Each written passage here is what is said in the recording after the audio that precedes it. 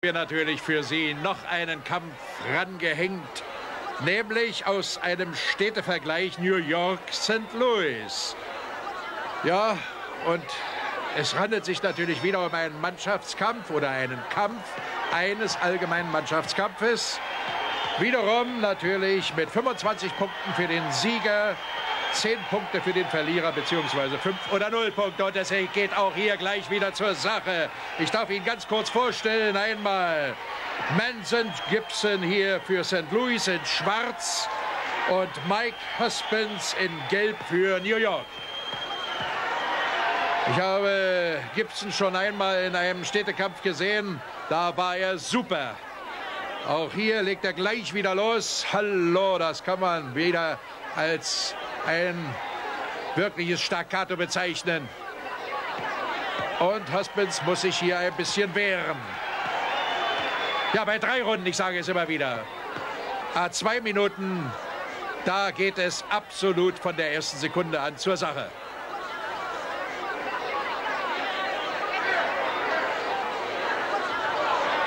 Gibson und auch Husband. Ja, der junge Hus, äh, kommt auch jetzt Beide wechseln auch immer wieder die Auslage.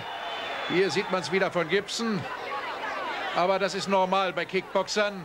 Im Gegensatz zu den regulären Boxern, bei denen das nicht so gut ist.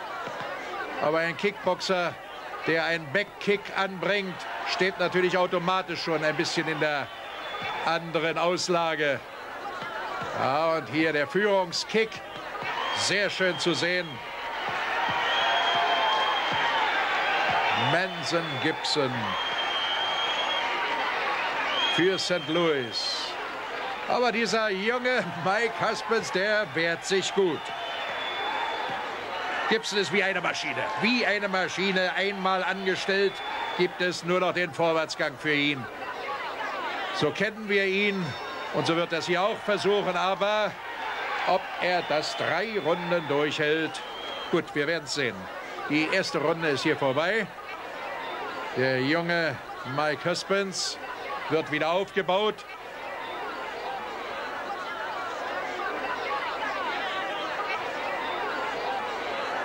Wir wissen von ihm nicht so viel, weil es von ihm noch keinen Profi-Rekord gibt. Und sein Amateurrekord ist auch nicht so bekannt kann also nicht sagen, wie viele Kämpfe er als Amateur bestritten hat und wie viele gewonnen und verloren davon. Auf jeden Fall ist es hier sein zweiter Profikampf überhaupt.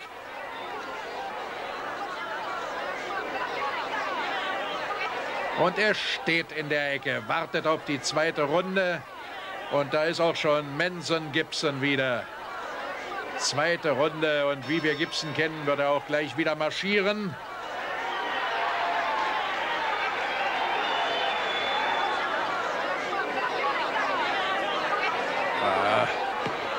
Abwartend.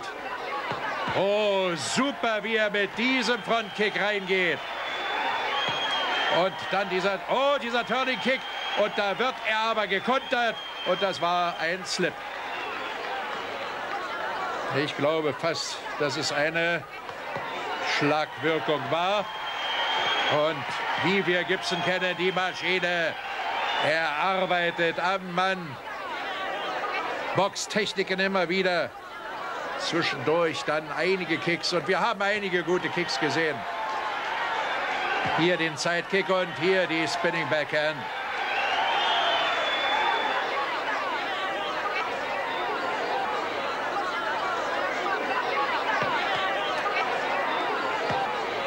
Frontkick und den, die Spinning, den Spinning Kick hinterher. Und da hat er sich verfangen im Seil. Ja, das war wohl ein klarer Slip. Ja, so wird es auch gesehen hier vom Ringrichter. Da hat er ganz einfach die Balance verloren, weil er noch auf dem obersten oder zweiten Seil war mit dem Fuß. Ah, oh, super dieser Spinning Backkick.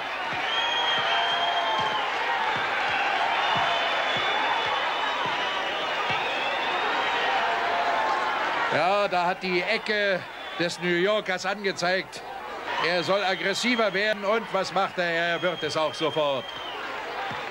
nimmt jetzt hier wieder Kicktechniken. Ein Superfight. Gefällt mir sehr gut, weil wir wieder alle Elemente sehen. Gute gestochene Linke hier. Dann die Konter. Und die Runde ist zu Ende. Zuletzt war Gibson wohl doch etwas langsamer. Hat er jetzt seine Karte ausgereizt oder kann er in der dritten Runde nochmal so zulegen, wie er es in der ersten schon gezeigt hat? Ja, und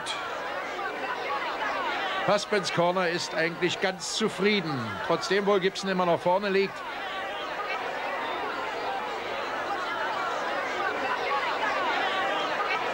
Trotzdem New York, das wollte ich auch noch sagen, dem Husbands an und für sich einen guten Vorsprung gegeben hat. Denn New York liegt in diesem Mannschaftskampf bereits mit 75 Siegpunkten vorne. Ja, sie sind, glaube ich, zufrieden. Und jetzt geht es in die dritte Runde, die letzte Runde. Und diese Runde entscheidet wohl. Und Gibson hat etwas abgebaut in der zweiten Runde. Die erste hat ihm ja gehört. Husbands ist hier mächtig aufgekommen in der zweiten Runde. Also die dritte entscheidet. Und wenn wir den Fight sehen, den wir schon in den vergangenen zwei Runden gesehen haben, und hier geht es gleich wieder zur Sache, dieser Schlagabtausch. Gibson wieder die Maschine, aber da ist er überhaupt nicht effektiv durchgekommen. Husband hat da alles abblocken können, auch diesen Kick. Oh, da versucht er noch mal einen Backkick. Der Gibson, der aber überhaupt nicht mehr die Wirkung hatte wie seine ersten Techniken in der ersten Runde. Gibson ist müde jetzt. Und der junge Husbands wirkt frischer. Es könnte sogar dann für Husbands reichen. In seinem zweiten Profikampf hier und die, der Axe-Kick. Und down ist Gibson. Auf dem Boden. Aber auch das wurde als Slip gewertet. Ja. Aspens marschiert. Ja, das, was ich sagte.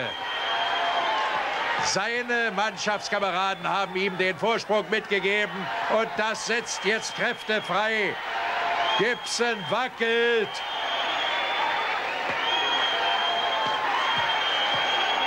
Und da sind nicht einmal mehr 30 Sekunden zu gehen. Und jetzt noch mal alles rausholen. Gibson versucht zurückzufalten, kommt aber jetzt nicht mehr dazu.